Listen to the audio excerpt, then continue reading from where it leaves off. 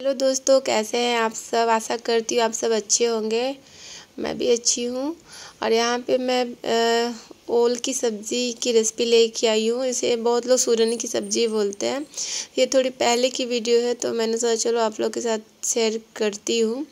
तो जब इसे ना हम लोग जब इसको कट करते हैं ना तो बहुत ज़्यादा इचिंग होने लगती है हाथों में। तो इस तरह से सरसों ऑयल हाथों में लगा के तब इसे कट किया जाता है। तो मैंने सरसों का तेल ना हाथों में अपने लगा लिया है।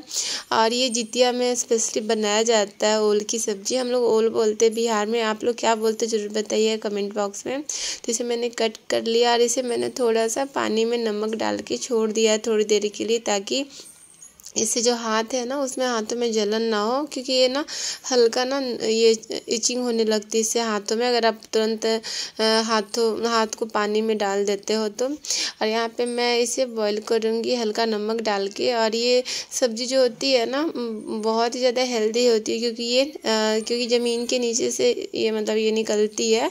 मतलब जो कहा जाता है ना कि इस टाइप की जो सब्ज़ियाँ होती हैं तो वो ज़्यादा हेल्दी होती है। तो इसे मैंने बॉईल कर लिया, हल्का मैंने इसमें हल्दी पाउडर भी डाला था। और ये देखो बॉईल हो चुका बहुत अच्छे से।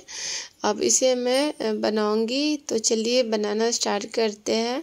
और अभी मैंने कढ़ाई में मस्टर्ड ऑयल डाल डाल लिया है सरसों का तेल।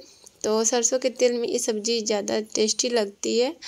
तो यहाँ पे जो मैंने कट कट के बॉईल करके जो मैंने ओल रखा था, उसे मैं इसे फ्राई कर दूँगी। आप इसे डीप फ्राई कर दो तो ज़्यादा मतलब ये अच्छा लगता है टेस्टी लगता है। तो यहाँ पे सभी को मैंने डाल दिया है और जब ये अच्छे से थोड़ा इसका कलर चेंज हो जाएगा ना, जब ये ब्राउन टाइप से, हल्का पिंक टाइप से हो जाएगा तो इसे मैं निकाल लूँगी अच्छे से तो मैंने निकाल लिया है।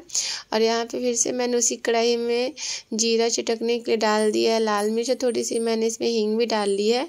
और ये थोड़ा सा प्याज, अदरक, लहसुन और इसका पेस्ट मैंने डाला है और साथ ही साथ जो बेसिक मसाले जो होते हैं ना, वो मैंने डाल दिया है। तो इस टाइप से डाल के और सारे मसाले को मैं अच्छे से भून लूँगी जब तक मतलब कढ़ाई तेल ना छोड़ने लगे। और इसमें मैं अब थोड़ा नमक स्वादानुसार डाल देती हूँ। और ये ओल जो होता है ना, थोड़ा सा मतलब मुँह में लगता है मतलब कि मुँह में थोड़ा खाने पे ना जलन सा थोड़ा लगता है तो इस, इसलिए मैं इसमें टमाटर डाल रही हूँ।